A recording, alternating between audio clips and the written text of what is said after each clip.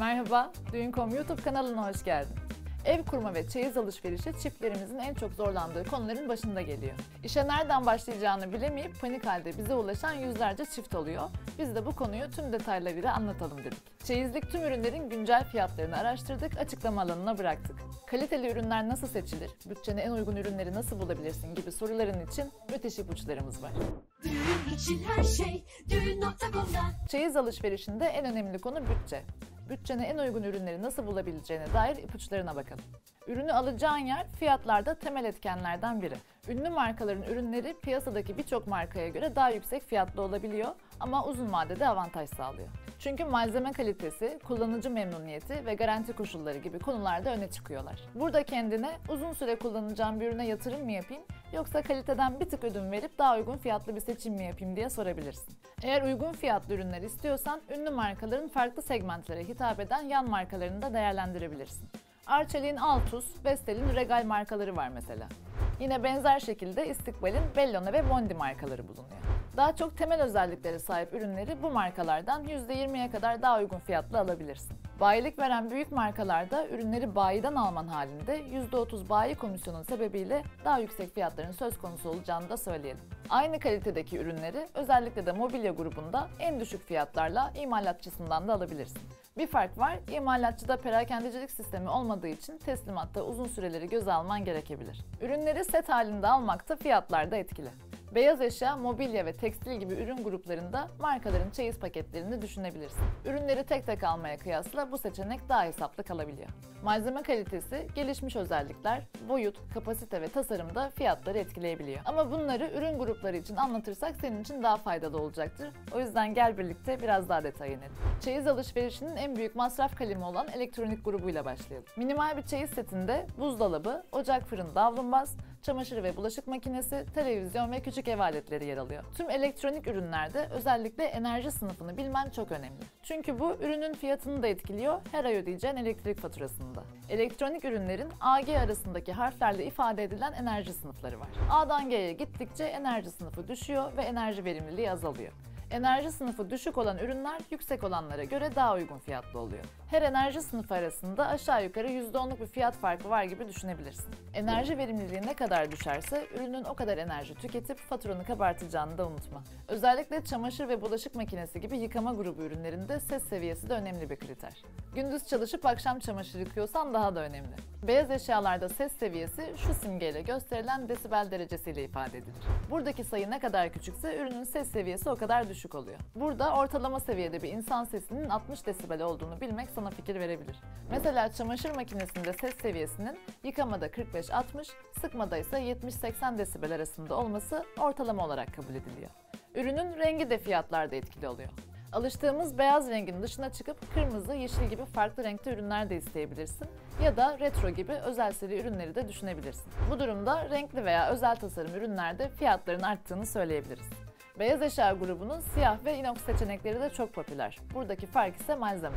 Beyaz ürünlerde beyaz boyalı sac malzeme kullanılırken inox ürünlerde paslanmaz çelik, siyahlarda ise cam yüzey kullanılıyor. Bu da fiyatların artmasına neden oluyor.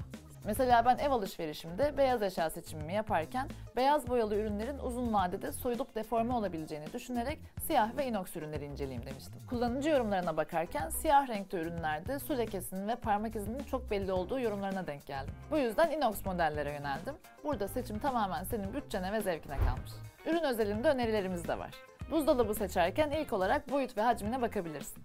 Boyutuna haliyle mutfaktaki alana göre, hacmine ise kişi sayısına göre karar verebilirsin. Yeni evli bir çift olduğunuzu düşünürsek, iki kişilik ailelere genellikle 150-200 litrelik ürünlerin önerildiğini de söyleyebiliriz. Sen ihtiyacına göre dondurucu ya da soğutucu kısmı daha geniş ürünleri tercih edebilirsin. Tabii ihtiyacına göre ürünün teknolojisi de önemli. Yiyeceklerin daha taze kalmasını sağlayacak Twintech Cooling gibi teknolojiler var. Buna Norfrost'un ikili soğutma sistemine sahip seçeneği diyebiliriz.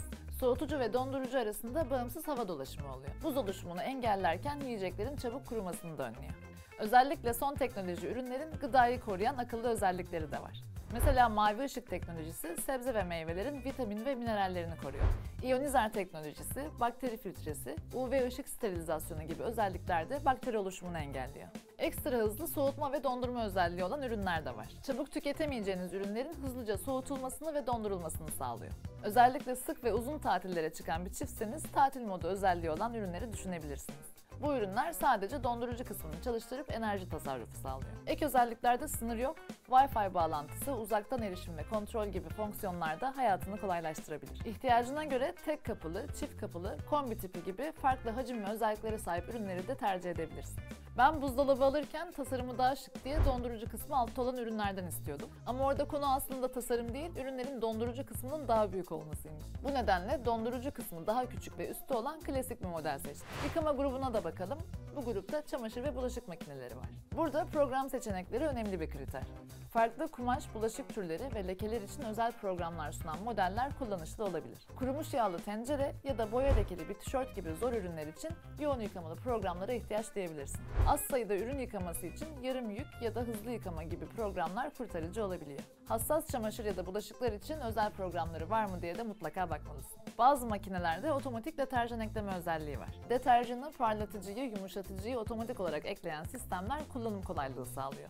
Wi-Fi veya Bluetooth bağlantısıyla uzaktan kontrol edilen modellerin kullanım kolaylığı sağladığı da aklında bulunsun. İhtiyaçların kapasiteye göre seçim yapmanı da gerektirebilir. Bulaşık makinesinde 9 kişilik modeller çiftler için daha uygunken 13-15 kişilik makineler ise sık sık ve kalabalık misafir ağırlayan çiftler için idealdir. Fikir vermesi için 13 kişilik makinelerde tek seferde ortalama 140 ürün yıkandığını söyleyebiliriz. Çamaşır makinesinde ise piyasada özellikle 8-9 kiloluk ürünler çoğunlukta. Kıyafetlerin yanında yorgan, halı gibi büyük ürünleri yıkamak istersen geniş hacimli ürünlere yönelebilirsin. Yorganlar için 8-9 kilogram ve üzeri, Kilim ve yıkanabilir halılar için ise 10 kilogram ve üzeri kapasiteli ürünleri tercih edebilirsin. Tabii burada tambur genişliği de devreye giriyor. Geniş tamburlu makineler büyük ürünleri daha rahat yıkama imkanı sunuyor. Büyük ürünler için tambur genişliğinin en az 50 santim olması gerektiğini de söyleyebiliriz. Son yıllarda kurutma özelliği olan ürünler çok popüler. Aklında bulunsun, kurutma özelliğine sahip çamaşır makinelerinin yıkama kapasitesi kurutma kapasitesinden daha yüksek oluyor. 10 kilogram yıkama hacmine sahip bir kurutmalı makinenin kurutma kapasitesinin 6-7 kilogram olduğunu da söyleyelim. Fırın seçiminin ipuçlarını da verelim. Markasına, modeline, kapasitesine ve fonksiyonlarına göre çeşitleniyor, fiyatları da buna göre değişiyor. Fırın tiplerini solo, ankastre ve set üstü olarak sayabiliriz. Solo fırın hem ocak hem de fırın bölümüne sahip ürünlere deniyor. Mutfakta iki ayrı bileşen halinde eşya bulundurmak istemiyorsan solo fırınları tercih edebilirsin. Ankastre ise mobilyaya gömülen, ocak, fırın, davlumbaz şeklinde set halinde satılan ürünlerdir. Set üstü fırın, mini ya da midi fırın dediğimiz ocaklı fırınlara göre daha küçük kapasiteye sahip ürünlerdir. Bu ürünlerin pişirme tipine göre statik, turbo ve elektro turbo gibi seçenekleri bulunuyor. Hesaplı bir ürün istersen statik fırınları tercih edebilirsin. Bu ürünlerin sadece altta ve üstte ısıtıcıları bulunuyor ama yemeği eşit oranda pişiremeyebiliyorlar. Bu noktada fan ve arka ısıtıcıya sahip turbo fırınlar devreye giriyor. Turbo fırınların arka duvarında bir fan bulunuyor. Bu da eşit ısı dağılımı sağlıyor. Birden fazla tepsi yerleştirip aynı oranda pişirebiliyorsunuz. Elektro turbolarsa hem statik hem turbo pişirme yapabiliyor. Ayrıca ızgara özelliği de bulunuyor. Dilersen multifonksiyon ürünleri de tercih edebilirsin. Yemeğe göre süre ve ısı ayarı yapanı, buz çözme özelliği olanı ya da yoğurt yapanı da var. Seçiminde ihtiyaçlarını göz önünde bulundurabilirsin. Bu arada iki kişilik bir aile için 40-50 litre kapasiteli bir mini fırının ya da 60-70 litre kapasiteli bir ankastre fırının yeterli olacağını söyleyebiliriz. Televizyon grubuna da bakalım. Ekran büyüdükçe fiyatlar da artıyor. 32 inç ve altındaki boyutlara sahip televizyonlar genellikle uygun fiyatlı olanlar. 43 inç civarındaki ürünler %40 ila 50 arasında daha yüksek fiyatlı oluyor. 55 inç ve üzerindeki ürünlerin ise en pahalı televizyonlar olduğunu söyleyebiliriz.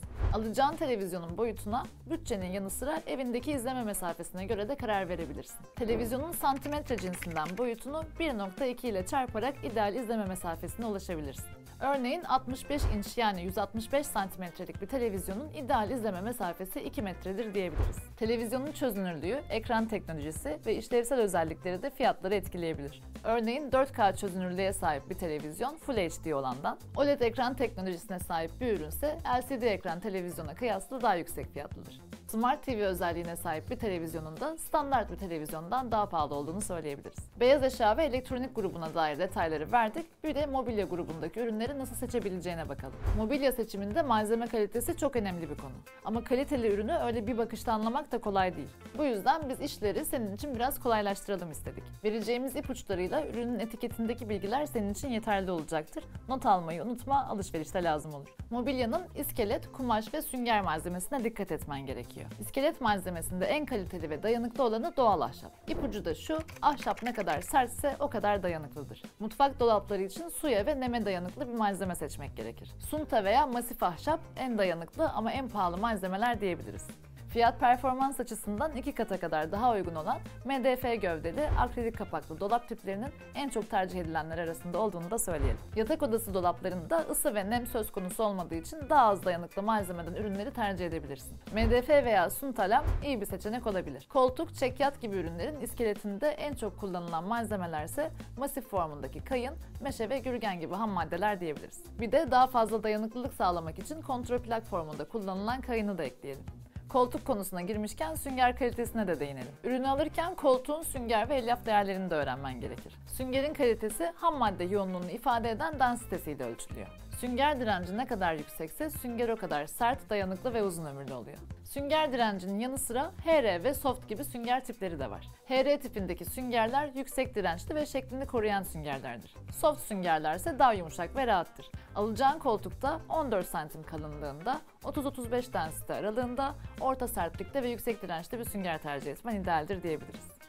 Bununla birlikte kumaş ve sünger arasında 300 gramlık elyaf kullanılması gerektiğini de söyleyelim. Koltuk kumaşının kalitesi, kumaşın cinsi, sağlamlığı, gramajı ve güneşe karşı dayanıklılığını ifade eden ışık hastığına göre belirleniyor. Sentetik ve doğal olmak üzere iki kumaş seçeneği var.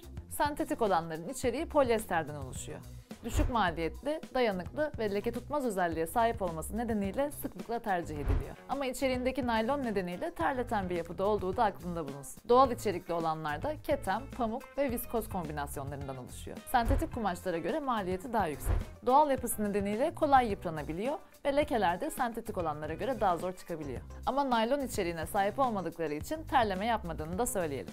Şimdi biraz da gramaja değinelim. Kaliteli denebilecek bir kumaşın gramajı metre başı en az 350-400 gram olmalı. Bunun altındaki kumaşlar daha az kaliteli diyebiliriz ve yüksek gramajlı olanlara kıyasla daha kolay yıpranabiliyor. Mutfak, pişirme ve sofra ürünlerini nasıl seçebileceğine dair ipuçlarına da bakalım. Özellikle pişirme ürünlerinde malzeme çok önemli. Çünkü maliyeti düşük birçok malzeme ısıyla temas ettiğinde zehirli kimyasallar ortaya çıkarabiliyor. Mesela alüminyum az maliyetli ama Alzheimer gibi sağlık sorunlarıyla ilişkilendirildiği için bu malzemeden mümkün olduğunca kaçınmanda fayda var. Dökme demir, paslanmaz çelik veya seramikten yapılan ürünlere yönelmen daha sağlıklı olacaktır. En çok tercih edilen pişirme ürünlerinden çelik tencerelere bakalım. Çelik tencereler toksik olmadığı için en sağlıklı pişirme sağlayan tencerelerden biridir.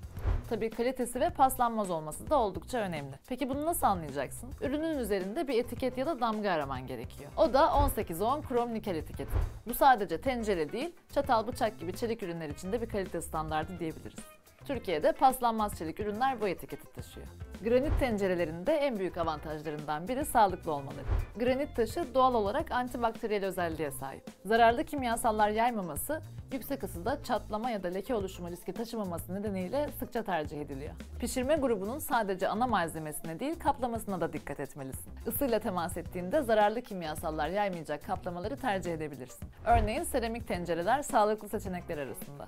Ama iç yüzeyi zamanla yapışmaya meyilli oluyor. Bu durum sağlığı tehdit etmediği için uzun vadede gönül rahatlığıyla kullanabilirsin. Tencerenin yapışmaz özelliğinin yüksek olması için teflon bazlı ürünleri tercih etmeyi düşünüyorsan pek önermediğimizi de söyleyelim. Çünkü burada riskli kimyasallar söz konusu. Eğer alacaksan da 2 sene içinde de yenilemende fayda var. Fiyatlarına bakacak olursak da çelik tencere ve tavalar alüminyumlara kıyasla iki katına kadar daha yüksek fiyatlı oluyor. Granit ve seramik ürünlerse çelik ve alüminyum olanlara kıyasla 3 kata kadar daha yüksek fiyatlı olabiliyor. Model ve ürün özellikleri de fiyatları etkileyen bir diğer faktör. Mesela düdüklü tencere klasik tencerelere göre en az %50 daha pahalı diyebiliriz. Çünkü düdüklü tencereler yüksek basınç altında hızlı pişirme yapabilmek için özel bir kapak ve contaya sahip. Bu parçalar ek maliyet getiriyor, bu da fiyatlara yansıyor. Biraz da sofra takımlarına değinelim. Sofra takımlarının fiyatları kullanılan ham maddenin kalitesi, üretim süreci ve marka gibi kriterlere bağlı. Örneğin porselen grubu. Sofra takımlarında sıklıkla kullanılan porselenin kalitesini anlamak için ürünün kenarlarını ve alt kısmını inceleyebilirsin.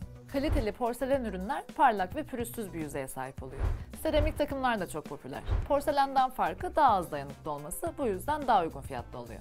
Cam ürünler de çok tercih ediliyor. Şık ve modern tasarıma sahip olan cam sofra takımları seramik ve porselene kıyasla daha az dayanıklı olduğu için daha uygun fiyatlı oluyor. Renk, desen, boyut gibi kriterlere göre de farklı fiyatlara sahip olabiliyorlar.